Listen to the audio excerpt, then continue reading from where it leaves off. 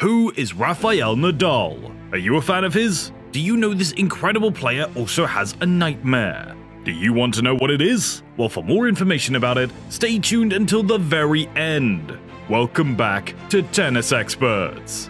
Before moving on, we all know that Rafael Nadal is a Spanish tennis player. He has held the top spot in the world rankings for 209 weeks and 5 times at the end of the year. 22 Grand Slam men's singles trophies, including a record 14 French Open crowns. In addition to being a promising tennis player, Nadal won the regional under-12 tennis championship when he was only 8 years old. Rafael Nadal has been a nightmare opponent for many opponents on the tour, especially with those one-handed backhands of his, in addition to being a superb player. Grigor Dimitrov and Richard Gasquet are two examples of this. Rafa doesn't face many opponents who would be a nightmare to play against, since he has developed into such a complete player that is very difficult to pinpoint in areas in which he can improve.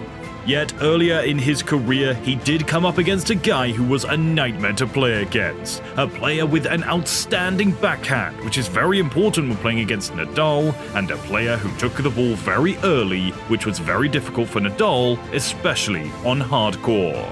Nikolai Davydenko is the player to whom I'm referring. So, who is Nikolai Davydenko? He was a former professional tennis player from Russia. In November of 2006, he reached a singles career high rating of number 3 in the world. Reaching the semi-finals of a Grand Slam tournament was Davydenko's best performance. He did so four times, twice at each of the French Open and the US Open, losing to Roger Federer in all but one of those matches. The 2009 ATP World Tour Finals victory was his greatest accomplishment. He has also won three ATP Masters Series tournaments. Midway through the month of October 2014, Davydenko announced his retirement. Then how did he become a nightmare for Rafael? In their first meeting at the Masters Cup in 2006, Nadal lost a more difficult set, but rallied to win the third set 6-4. The next meeting between two exceptional players took place in 2007 in Rome, when Rafael Nadal was in the midst of the historic 81 match winning streak on clay. He obviously prevailed in this match, but it wasn't simple. In one of the greatest clay court matchups of the decade, it took Nadal 3 hours and 30 minutes to defeat Davydenko. And you could already tell that Davydenko would be a difficult opponent for Nadal. One of the first significant events that Nadal hadn't won his career was Miami, which is where they played their next match in 2008. Of course, Nadal lost this match. In fact, Davydenko outplayed Nadal in this final. Considering how difficult it is to defeat Nadal in the finals, very few players can make this claim. Still, Davydenko defeated Nadal with scores of 6-4 and 6-2 while appearing unstoppable in the closing moments of the contest. Even Davydenko had no chance in the subsequent match, which was also played in the Monte Carlo semi-finals.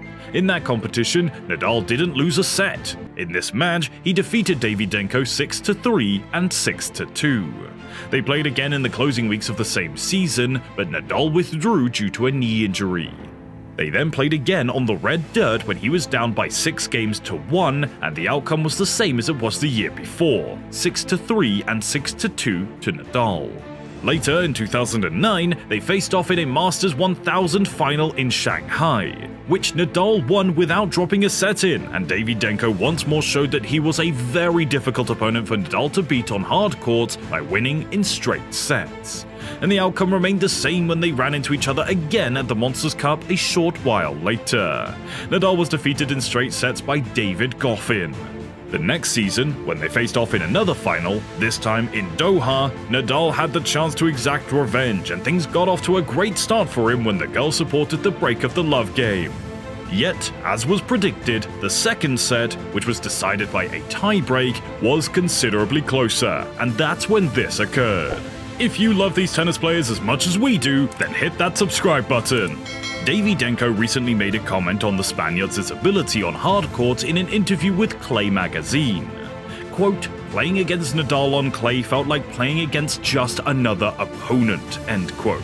In each of our meetings on hard courts, I have triumphed. With a record of 5-6 against the Russians after 11 meetings, Nadal is in last place. Speaking of the tournaments on hard courts, they faced off seven times on the surface, with Nadal winning just one match.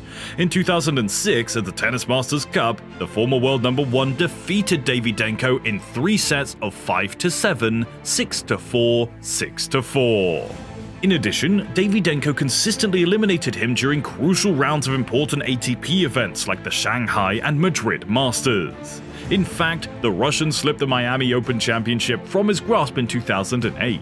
Rafael Nadal, known as the King of Clay, has a perfect record in clay courts with a win rate of 92%. From 507 matches played so far on clay, the Spaniard has won 464 of them. But still, he was not able to win against him. Only five players have won so far on several matches and have a winning head-to-head record against Rafael Nadal. Together with some unexpected names, the list features some of the greatest players ever. Davydenko is one of them. Even though Nikolay Davydenko was one of the finest players in the middle and the end of the 2000s, few people anticipated that he would have a 6-5 head-to-head record against Rafael Nadal. In actuality, the Russians won four straight matches against the King of Clay. How did he do that? Currently, Nikolay Davydenko is coaching children between the ages of 9 and 11, a group that also includes his daughter, Ekaterina. Davydenko discussed some of the memorable matches he played against Rafael Nadal and Roger Federer in his interview with Clay. He also discussed his impressions of Novak Djokovic when he first encountered the Serbian as a young player.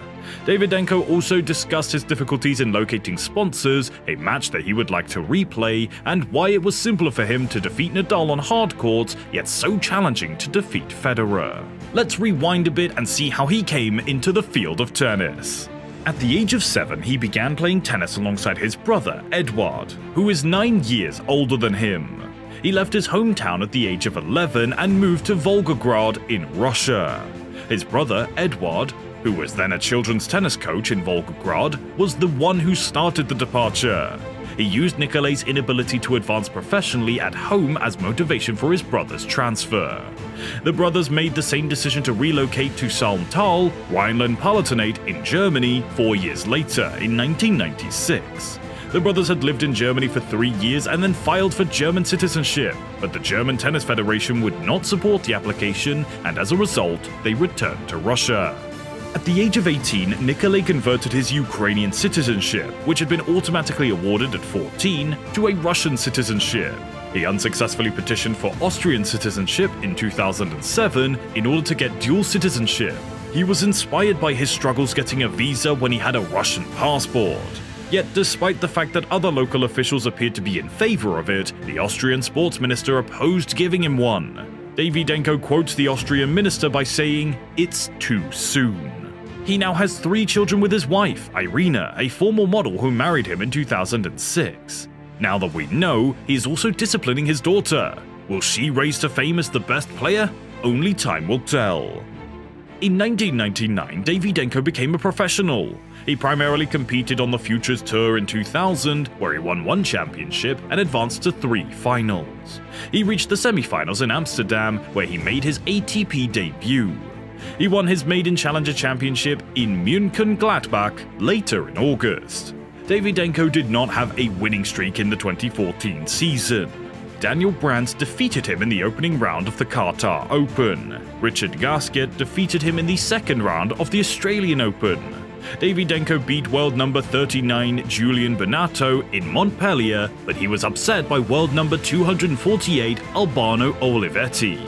At a press conference in Moscow on October 16th, Davydenko declared his retirement, confirming these speculations. Davydenko played an offensive baseline style, hitting both wings with deep, penetrating ground strokes. His backhand and forehand ground strokes were technically proficient. He was able to hit the ball early thanks to the incredible foot speed and anticipation, which put opponents out of position and let him control the play in a manner reminiscent of the world former number one, Andre Agassi. So what do you think? Who would win if they played a match together now? Do share your thoughts in the comment section below.